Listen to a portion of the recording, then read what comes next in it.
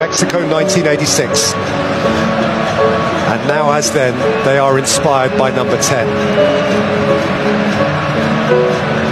Dutch Orange, finalists in 2010, semi finalists in 2014. And here, after a brief hiatus, heavy hitters once again.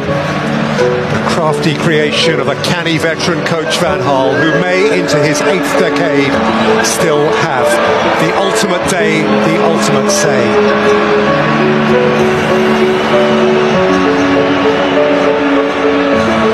Of all the great intercontinental rivalries, few as vivid, as resonant as this one.